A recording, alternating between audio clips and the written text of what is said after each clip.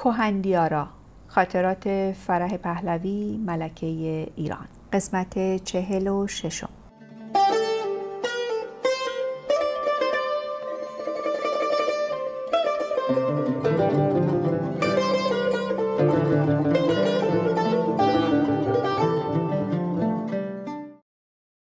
اوایل آذر ماه پزشکان به این نتیجه رسیدند که پادشاه می تواند به زودی بیمارستان را ترک گوید.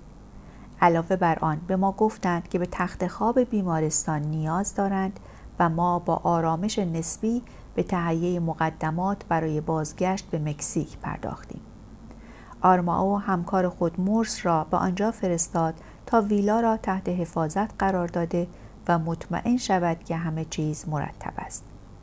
بازگشت به آنجا برای روز 11 آذر ماه پیش بینی شده بود اما روز نهم آذر خبر عدم قبول اقامت ما از سوی مقامات مکزیک مرا در بخت و حیرت فرو برد این تغییر عقیده رئیس جمهور مکزیک برای ما غیر قابل درک بود اگر دولت مکزیک چنان که گفته می‌شد برای سفارتخانه هایش در کشورهای غربی نگران بود پس چرا دعوت خود را بعد از گرفتن ها در 13 آبان تجدید کرده بود. بعدا توضیح دیگری در این باره به من داده شد. فیدل کاسترو به رئیس جمهور مکزیک گفته بود به شرطی برای ورود آن کشور به شورای امنیت سازمان ملل رأی موافق خواهد داد که از دادن پناهندگی به پادشاه صرف نظر کند. به طوری که پیر سالنجر می نویسد روبرت آرماو با اطمینان از تصمیم جدید مکزیک که توسط سرکنسول آن کشور در نیویورک به او گفته شد سخت تعجب کرده بود سلینجر می نویسد آرماو گفت من حرف شما را باور ندارم. ما امروز صبح موافقت رئیس جمهور را دریافت کرده ایم. کنسول از او خواهش کرد که با سفیر مکزیک تماس بگیرد و او این مطلب را تایید کرد. پادشاه از این پس نمی‌تواند در مکزیک اقامت کند. شما باید متوجه این مطلب باشید که حضور ایشان در خاک مکزیک تهدیدی برای منافع ملی ما به شمار می آید. سلینجر اینطور ادامه می دهد. آرماو با ناامیدی به بیمارستان بازگشت. یک ساعتی در اتاق جنبی پادشاه نشسته بود و متحیر که چگونه این خبر را به او بدهد. در همین حال یکی از معمورین محافظ وارد اتاق شد و گفت برنامه اخبار از تلویزیون پخش می شود و تلویزیون اتاق پادشاه روشن است بهتر است هر چه زودتر مطلب را به او بگویید اما کانالی که پادشاه دنبال می کرد این خبر را پخش نکرده بود. بنابراین آرماو مجبور شد شخصا این مطلب را به او بگوید. پادشاه برای چند لحظه با ناباوری به او نگریست و پرسید آخر چرا؟ همین که این خبر به کاخ سفید رسید دولت آمریکا در جستجوی راه حلی موقتی برآمد و لوید کاتلر مشاور حقوقی رئیس جمهور را برای آگاه کردن پادشاه از تصمیمات دولت نزد او فرستاد. این اتفاقات با سرعت انجام گرفت و هنگامی که من از موضوع اطلاع یافتم تبعیدگاه جدید ما تعیین شده بود. پایگاه هوایی لاکلند در تگزاس. این خبر را همسرم با تلفن به من داد. ما به تگزاس می رویم. دولت آمریکا از ما خواسته که مقصد خود را کاملا محرمانه نگاه داریم. با هیچ کس در این باره صحبت نکن حتی بچه ها. چطور می توانیم بدون اطلاع بچه ها از اینجا برویم؟ بدون اینکه مقصدمان را به آنها بگوییم؟ در آن موقع این موضوع برای من ستمی غیر قابل تحمل به شمار می رفت و بیش از طاقتم بود. ولی در سکوت پذیرفتم. قرار شد روز بعد حرکت کنیم.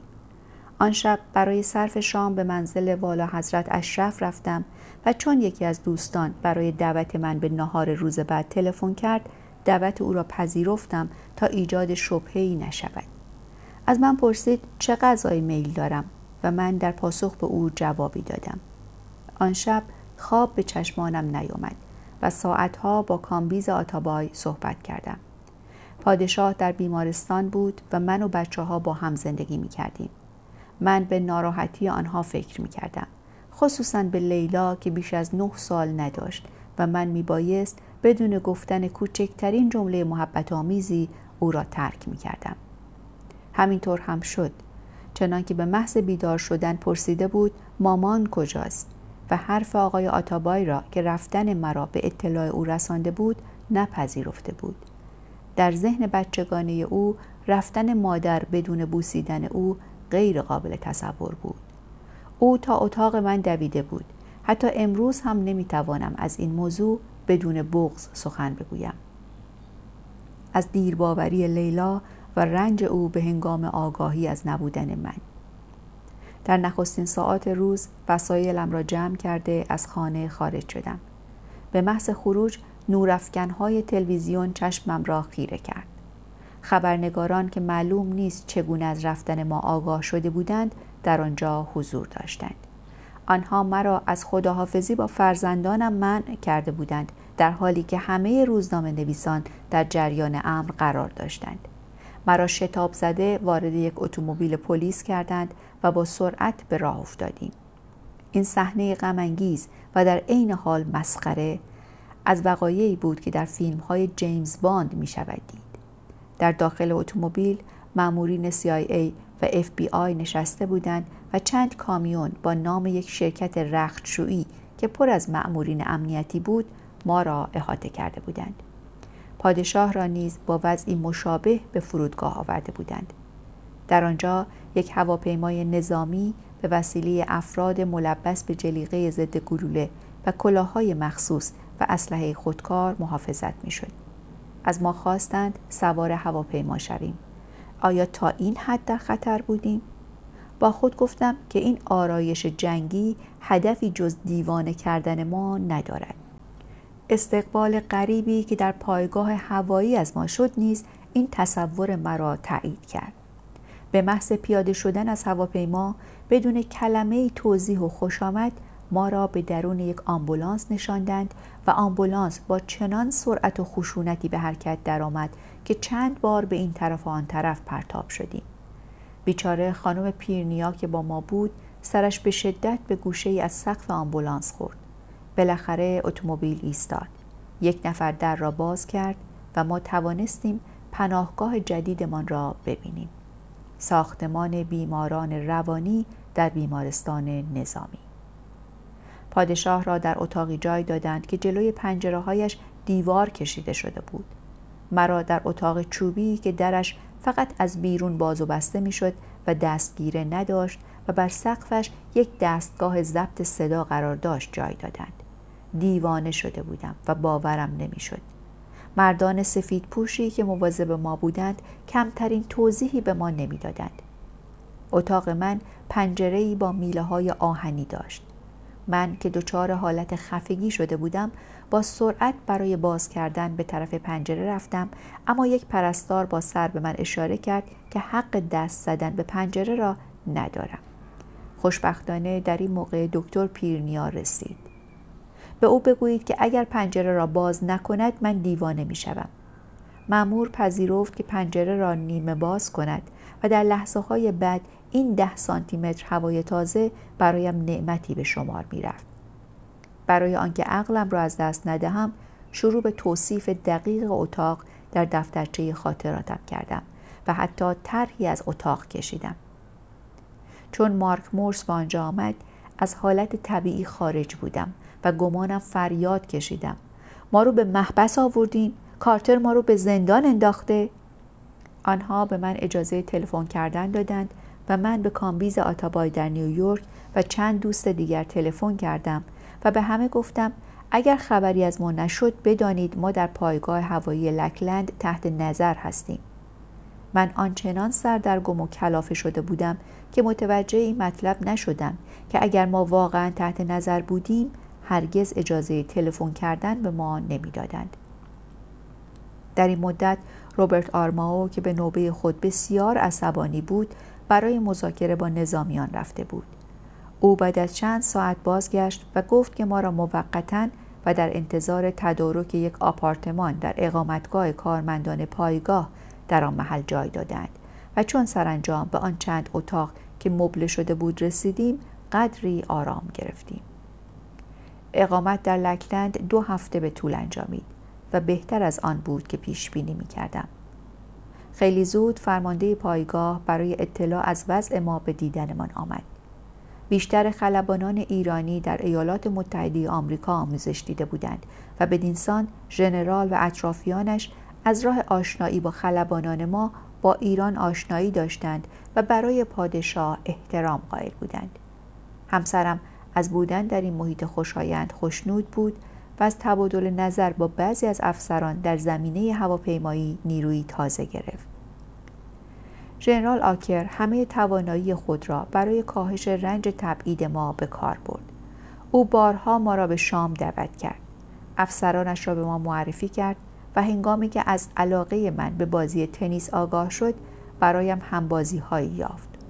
تنیس و ورزش به طور کلی برای من نوعی درمان به شمار می رود و راهی برای سرپا ماندن و حفظ روحیه. امروزه نیز در سختترین شرایط بازی تنیس به من نیروی مقاومت می دهد.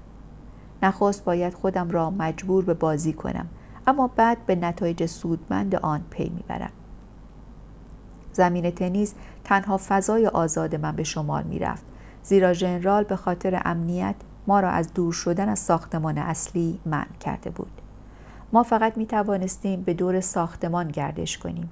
آن هم به همراهی سرهنگ جهانبینی و سرهنگ نویسی که آنها هم به نوبه خود توسط مأمورین امنیتی آمریکایی احاطه شده بودند.